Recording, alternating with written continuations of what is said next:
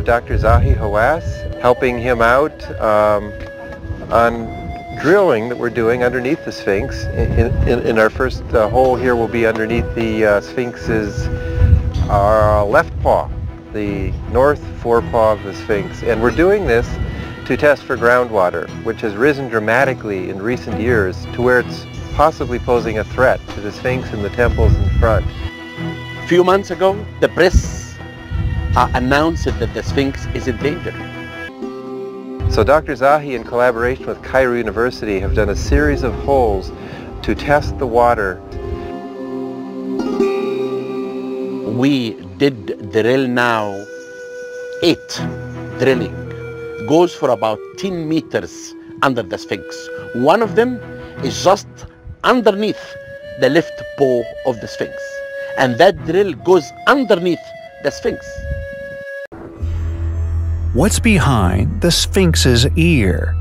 Hidden in plain sight for many a millennia, there is clearly a blocking stone still in place. A blocking stone we would never have noticed if it weren't for a rather unusual source of information. Recently, we covered the amazing story of Kipriyanovich Boriska, the extraordinarily intelligent boy from Russia that, from a young age, has supposedly been able to remember a past life a life as a pilot upon the once flourishing planet Mars, destroyed during a catastrophic war. What is extraordinary regarding this claim, however, is the remarkable information that Boriska has somehow been able to share from a very young age, information which has taken astronomers many years to realize. According to Boriska, life on Earth will change irrevocably when the Great Sphinx is unlocked using a mysterious mechanism behind one of its ears. Unfortunately, he has not given any further details about what exactly the opening of the Sphinx will do, though this was enough for us to notice the anomaly resting upon this very ancient monument.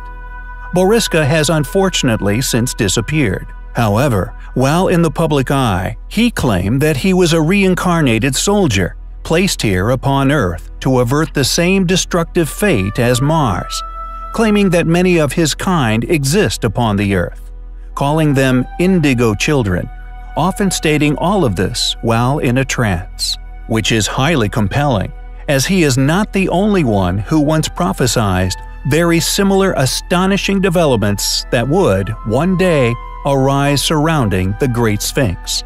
Edgar Cayce, an American Christian mystic, would often answer questions on subjects such as healing, reincarnation, wars, Atlantis, and future events, also while in a trance.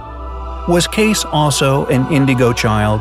Graham Hancock is another figure who has publicly claimed that there are many mysteries still left to be unraveled surrounding the Sphinx, specifically, that a time capsule is hidden within the Sphinx, a capsule that we will only discover as a species once we are intellectually capable of absorbing its message.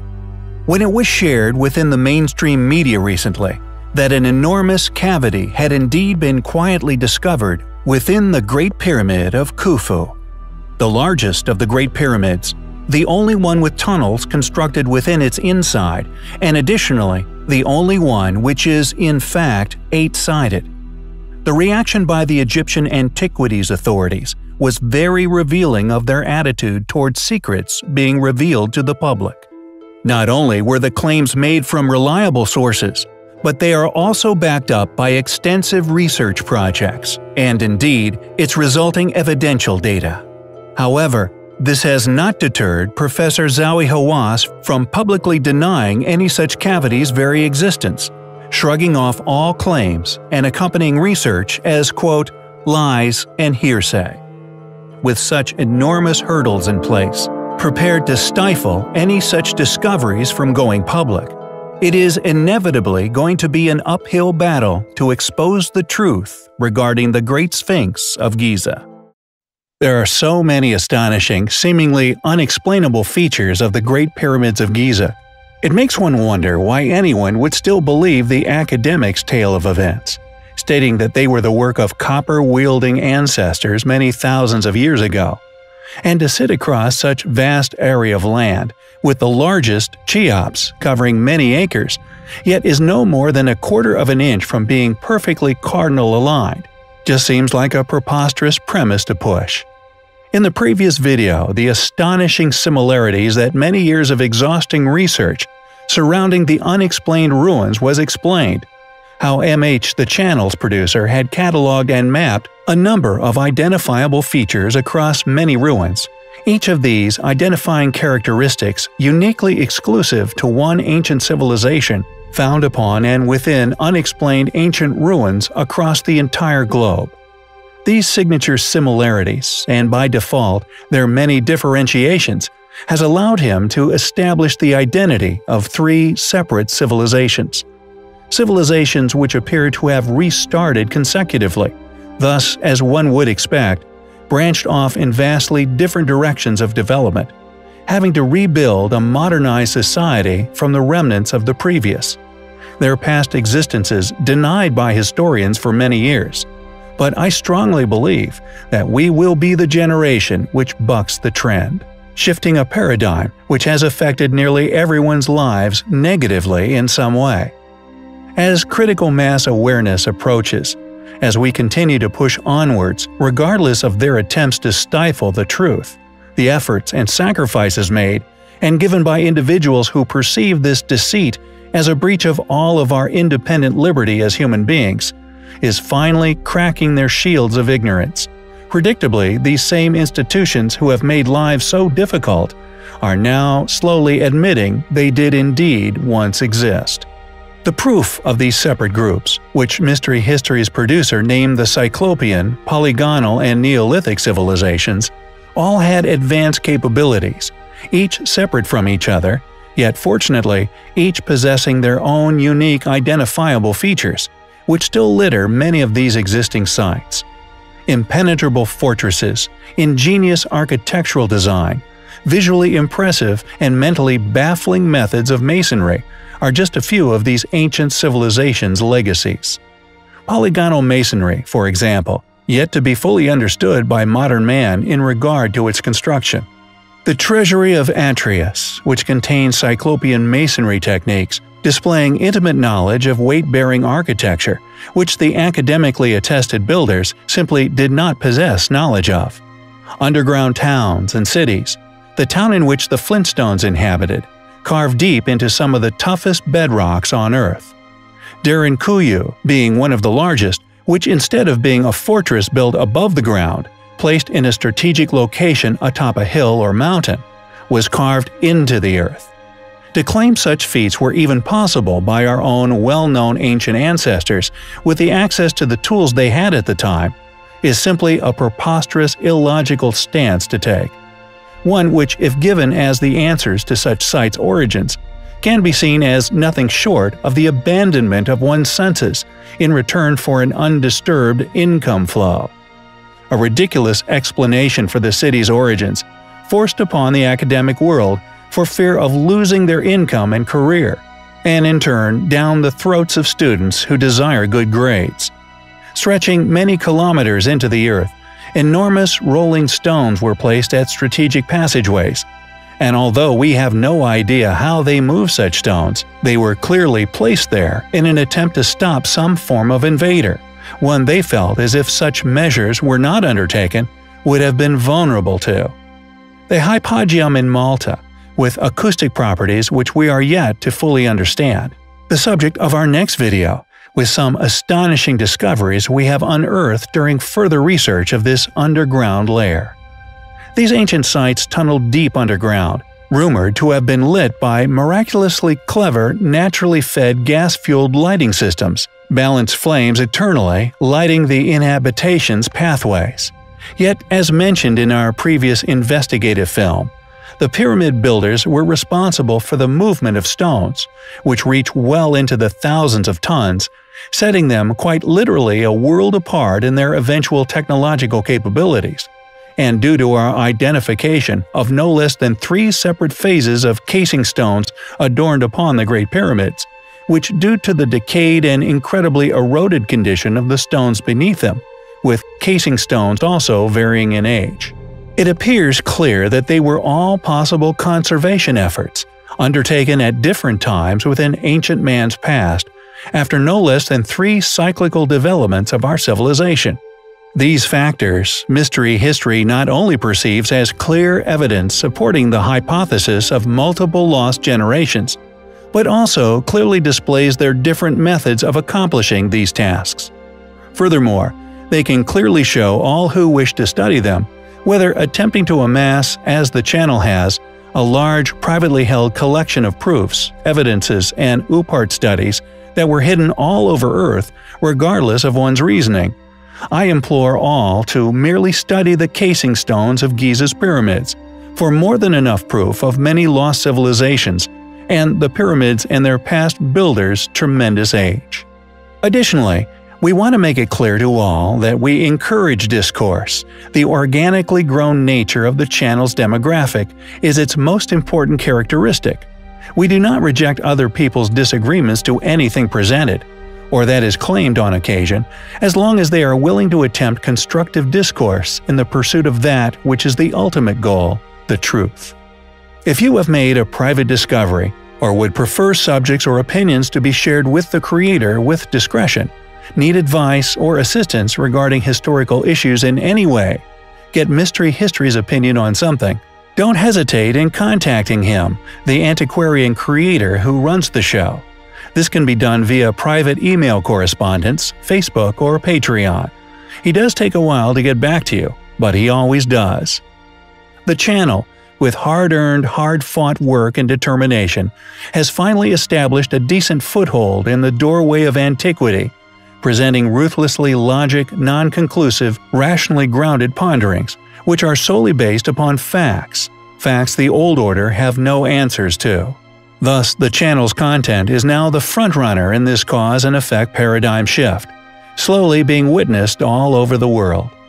The consequential loss of academia's undeserved credibility, built upon a false persona of all-knowingness, slowly being realized by more and more people every day as a fraudulent attempt to profit from misplaced faith.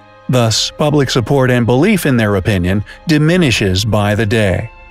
Now perceived as a dangerous, highly efficient, naturally talented distributor and conveyor of the seeds of doubt, which sprout many curious yet logically sound questions, continues to cast this cloud of intellectual uncertainty over academia, and those who are deservedly exposed as mere regurgitators of permitted information or a book pusher whose sole content is to pick on easy targets, while offering no solutions to that which they object to with such vitriol, feeding from a sour cream which they skim from the top of a divisive status quo, offering no alternatives or even instilling any passion to have any positive effect in any way. They merely profit from their obedient maintenance of a division within our species, ultimately slowing our prosperity and moralities to a near stagnation. By sticking to my ethics and being completely honest regarding every subject, every word spoken, subject by subject, we are now the forerunner in our field, a starter pack of our hidden past, with a new sister channel which stitches each journey together into larger historical picture, fashioned as hour-long multi-subject feature-length films. So regardless of your own particular format preference, the channel now caters. However, although we may have established a large seat at the table, many individuals who masquerade as having the same mission at heart are nothing but saboteurs and moles, attempting to lead its followers on a wild goose chase, diverting traffic away from burning curiosities, controlled opposition within the derogatorily labeled field of fringe research, an audacious choice of wording, as it is an accusation by funders who intentionally permit only a certain area of global history to be studied, something which is far more fitting to the label fringe researcher than any astute individual who grew weary of their lack of knowledge with the method of construction of Cheops being just one among many thousands worldwide. And as promised, I will now expose one of these moles, their methods of misdirection, and how to spot them yourself. First, I shall play my original research on the Sphinx enclosure, who discovered it, the explanations they gave at the time, and after this previous research has been shown to you, I will explain what I find to not only be deliberately ignorant and complacent by one of the most highly regarded supposed fringe researchers of them all. Any public acceptance and acclamations should always be perceived as suspicious, simply due to the controversy of our role within challenging status quos. They should instead be looked upon as an indication that said individual is most likely compromised. This is due to their rarely being public popularizing of individuals in our field of study, and any that do are generally perceived by the powers that be as paid-off shills. Thus, the reality of the site's age is naturally far too controversial a question to ask. Anyone, alive or now dead, who claim to be within the same field of study and discovery as me and many others, who receive such warm receptions by those they in essence should be a risk to, have outed themselves as nothing more than funded individuals, placed in particular positions of influence on specific platforms, to try to lead a charge which unfortunately forms a tail-chasing orbit one which, unless said follower recognizes these funded individuals' tactics, will never escape from, slowly extinguishing any healthy inquisitive manner as mentioned in the previous video.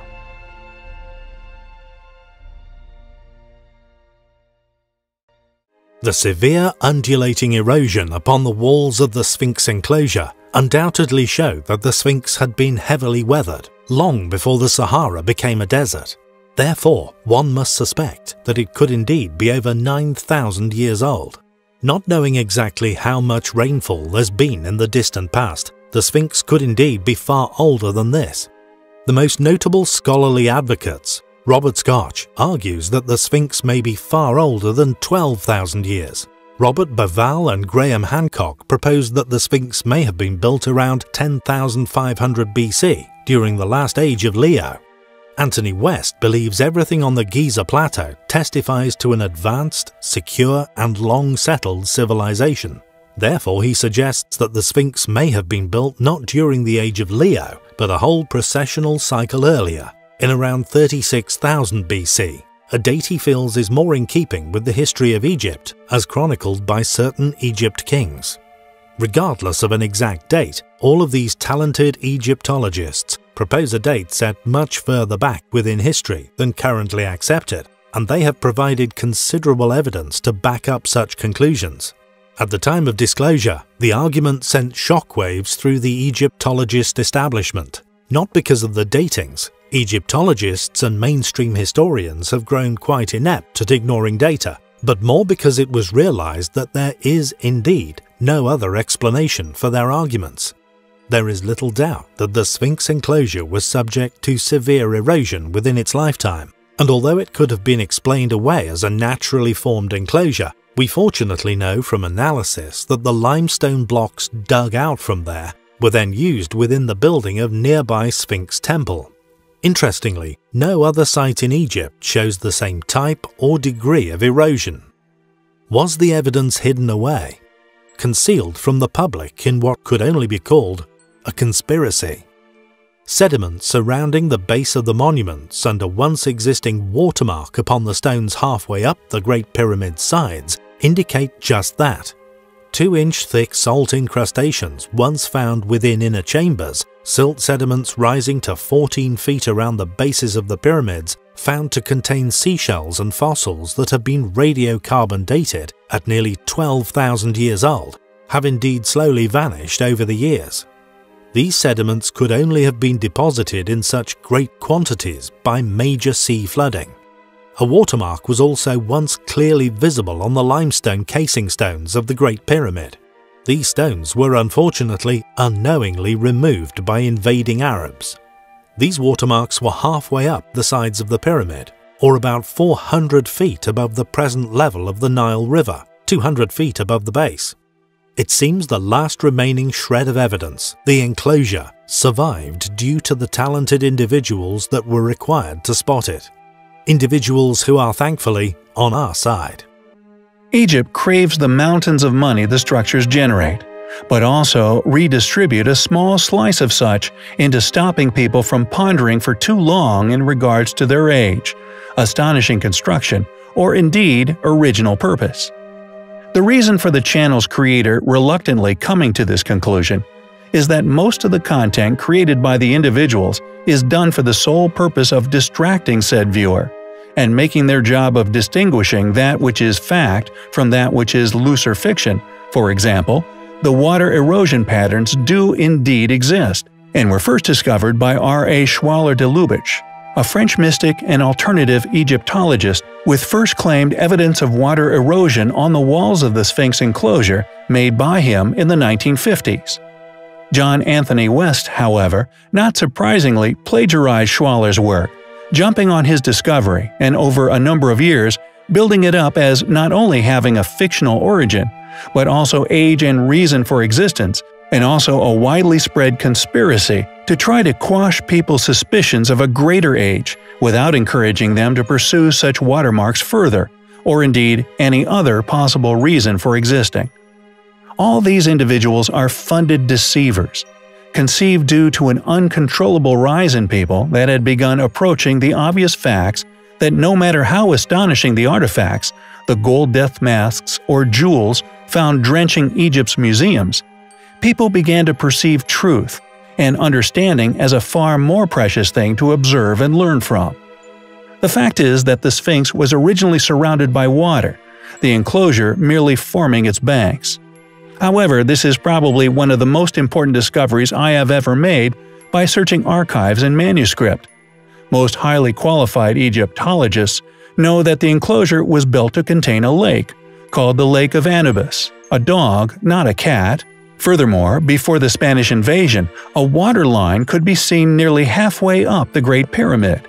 And as my previous video explained also, within the Great Pyramid, a layer of sea salt, nearly 2 inches thick in some places, was reported, although none remains to this day, as it was taken away discreetly to cover up the reality and true age of the site, that there was indeed a great flood, and third and finally, the phases of casing stones which are clear attempts to conserve the monument from further erosion can be identified as the work of at least three separate lost civilizations. This strongly suggests that throughout our existence, we have been susceptible to near extinction on several occasions. Why did the Egyptian authorities cover up what was found behind Gantenbrink's door? Why was there a water line that could be seen halfway up the pyramids themselves? And why did they dispose of proof of sea flooding without telling the world?